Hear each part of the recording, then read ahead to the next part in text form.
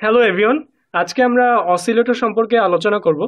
তো একবারে basic idea অসিলেটরের তো অসিলেটর আমি যদি প্রথমেই আমার নিজের ভাষায় বলি যে অসিলেটর হচ্ছে পৃথিবীর সবচেয়ে একটা সুন্দর ডিভাইস কারণ কি? এর পিছনের কারণ হলো যে একটা অসিলেটর কোনো ইনপুট নেয় না, কিন্তু আমাকে আউটপুট দেয়। ঠিক আছে? তো এ কারণেই আমি বললাম যে একটা সুন্দর ডিভাইস অর্থাৎ সে কোনো ইনপুট নিচ্ছে না, কিন্তু আমাকে আউটপুট দিচ্ছে। এখানে বইয়ের ডেফিনেশন দেওয়া হয়েছে যে an oscillator is a circuit that produces a periodic waveform on its output with only the DC supply voltage as an input অর্থাৎ, একটা অসিলেটর পিরিয়ডিক ওয়েভফর্ম হিসেবে আউটপুট দেয় এবং সে শুধু ইনপুট হিসেবে যে, এখানে যেটা বলা হয়েছে, সেটা হচ্ছে ডিসি সাপ্লাই ভোল্টেজ অর্থাৎ এখানে ডিসি সাপ্লাই ভোল্টেজটা হচ্ছে আমার অসিলেটর সার্কিটটাকে বায়াস করার জন্য যে ভোল্টেজটা সাপ্লাই দেওয়া হয়েছে, সেটার কথা বলা হয়েছে। ঠিক আছে? তো এখানে আরেকটা পয়েন্ট হচ্ছে, একটা অসিলেটরের যে আউটপুট আসে, সেটা সাইনোসয়েডালও হতে পারে নন সাইনোসয়েডালও হতে পারে। ঠিক আছে?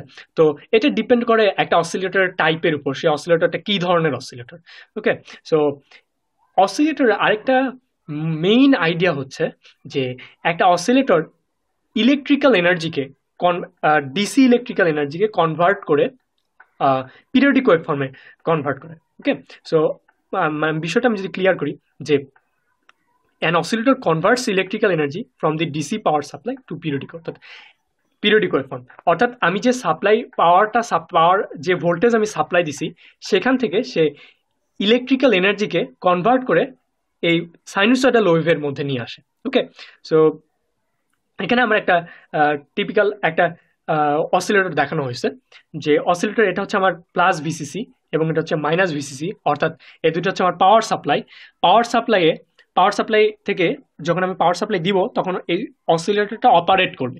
এবং অপারেট করলে তখন অ্যাম্পলিফায়ারের মধ্যে যখন কোনো সিগনাল আসবে, সেটাকে এই পাওয়ার সাপ্লাই এনার্জাইজড করবে। অর্থাৎ এটাকে বাংলায় যদি বলি যে তাকে শক্তি দিবে। ঠিক আছে? কোনো কিছুকে অ্যাম্পলিফাই করার জন্য কি? আমার এক্সটার্নাল অবশ্যই এনার্জি দরকার। সেই এনার্জিটা করতে আসবে? এই প্লাস ভিসি এবং মাইনাস ভিসি অর্থাৎ আমি যে বায়াস করলাম ডিসি ভোল্টেজ ডিসি সাপ্লাই সেখান থেকে আসতেছে।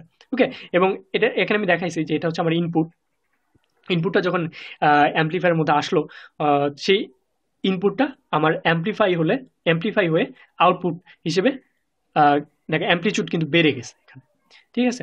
তো এই এনার্জি এনার্জিটা মূলত আসছে ডিসি পাওয়ার সাপ্লাই থেকে ওকে সো এখন একটা অসিলেটর মূলত দুই ধরনের দুইটা কম্পোনেন্ট নিয়ে গঠিত।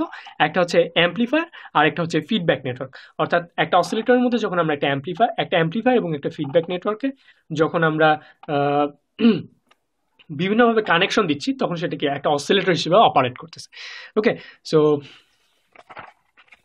এখন একটা অসিলেটরের মধ্যে যে আমরা অ্যাম্পলিফায়ারটা ইউজ করি, সেই অ্যাম্পলিফায়ারটা হতে পারে একটা বিজেটি হতে পারে একটা বিজেটি একটা এফিটি অর হতে পারে একটা অপ অ্যাম্প ঠিক আছে? যে কোনো ধরনের অ্যাম্পলিফায়ারই আমরা অসিলেটরে ইউজ করতে পারি। ওকে সো এখানে যে সার্কিটটা দেখানো হয়েছে, সেটা হচ্ছে এখানে মূলত যেটা বোঝানো হয়েছে যে একটা অসিলেটরের মধ্যে যে ফিডব্যাক নেটওয়ার্কের মধ্যে দিয়ে যে আউটপুটটা আসে, সেটা কখনো ফেস শিফট হয় না। নো নেট ফেস শিফট অর্থাৎ কোনো ফেস শিফট হবে না। এটা হচ্ছে আমার অ্যাম্পলিফায়ারের নন ইনভার্টিং টার্মিনাল দেখানো হয়েছে।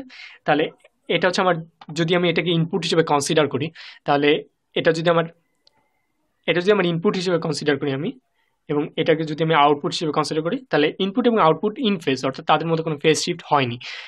একইভাবে যদি এটাকে আমি ইনপুট হিসেবে কনসিডার করি এবং এটা যদি আমার আউটপুট হয়, তাহলে দেখো আউটপুট কিন্তু আমার ফেস শিফট হয়েছে। তখন এই দুইটা যোগ করে বা দুইটা যখন সাম হবে, তখন কিন্তু এটার নেট রেজাল্ট জিরো হয়ে যাবে। তখন কিন্তু আমি কোনো কিছু কোনো কিছু অ্যাম্পলিফাই হবে না এবং আমার, আমি কোনো অসিলেশন পাবো না। ওকে সো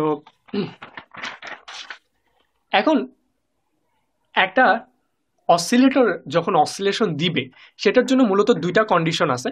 একটা হচ্ছে phase shift around the feedback loop must be zero degree অর্থাৎ এই যে যে এটা হচ্ছে আমার একটা অসিলেটর এখানে যে এই লুপটা কনসিডার করা হয়েছে, এটা হচ্ছে আমার লুপ এই লুপের কথা এখানে বলা হয়েছে যে এই ক্লোজ লুপের মধ্যে ফেস শিফট হবে জিরো ডিগ্রি এবং লুপ গেইন হবে ওয়ান লুপ গেইন মূলত অ্যাম্পলিফায়ারের গেইন এবং ফিডব্যাক নেটওয়ার্কের গেইন দুইটার প্রোডাক্ট যখন ওয়ান হবে তখনই অসিলেশন পাচ্ছি।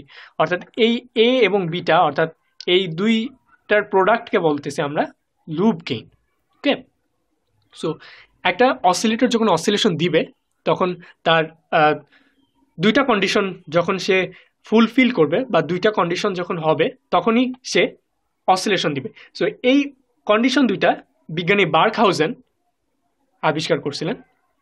আমার যতদূর মনে পড়ে যে বিজ্ঞানী বার্কহাউজেন একজন মেকানিক্যাল ইঞ্জিনিয়ার ছিলেন, তো বার্ক বার্কহাউজেন আবিষ্কার করেছেন এবং তার নামানুসারে এই দুইটা ক্রাইটেরিয়াকে বলা হয় বার্কহাউজেন ক্রাইটেরিয়া ওকে সো এখানে দুটো কন্ডিশন দেখানো হয়েছে। প্রথম হচ্ছে আমার ফেস শিফট জিরো অর্থাৎ ফিডব্যাক নেটওয়ার্কে যে আমার অ্যাম্পলিফায়ারে যে আউটপুটটা ফিডব্যাক নেটওয়ার্কে আসছে, সেটা ইন ফেজই আছে। অর্থাৎ ইনপুট হিসেবে যদি আমার এরকম যদি আমি কনসিডার করি, অর্থাৎ ইনপুটের সাথে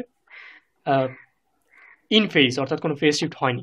এবং এক্ষেত্রে, এবং এটা যদি আমি লুপ কনসিডার করি, অর্থাৎ ক্লোজ লুপ এই ফেজ এই ফিডব্যাক লুপের মধ্যে আমার গেইন লুপ গেইন হচ্ছে ওয়ান অর্থাৎ এই দুটা কন্ডিশন যখন সে কমপ্লিট করবে বা ফুলফিল করবে, তখনই আমি অসিলেশন পাচ্ছি।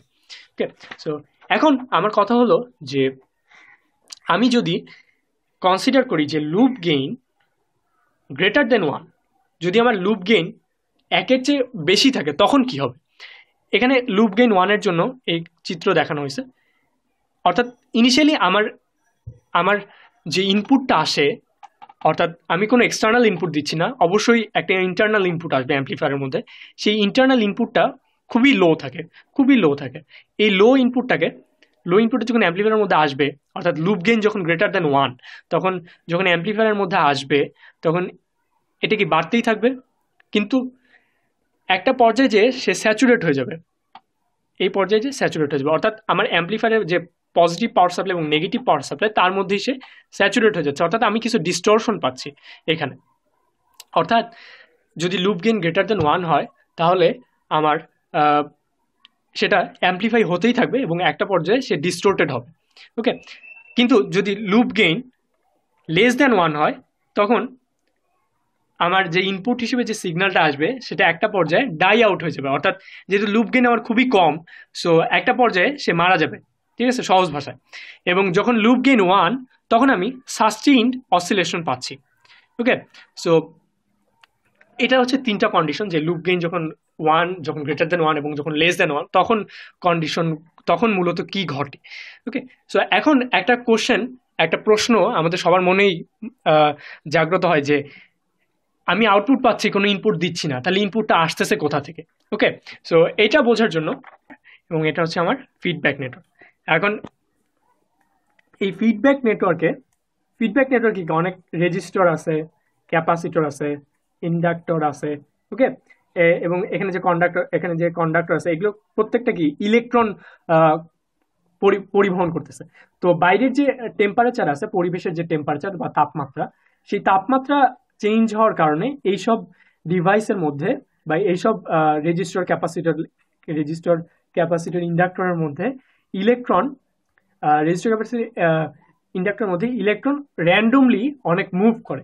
এবং সেই মুভ হওয়ার কারণে খুবই স্মল মানে খুব ছোট সিগন্যাল জেনারেট হয়। সেই সিগন্যালটাই মূলত আমার অপ অ্যাম্পে আসে, অর্থাৎ অ্যাম্পলিফায়ারে আসে এবং সেটাকে সে অ্যাম্পলিফাই করে। অর্থাৎ অ্যাম্পলিফাই করে সেটা আবার পুনরায় ফিডব্যাক নেটওয়ার্কে আসে এবং আবার অ্যাম্পলিফায়ারে যায়।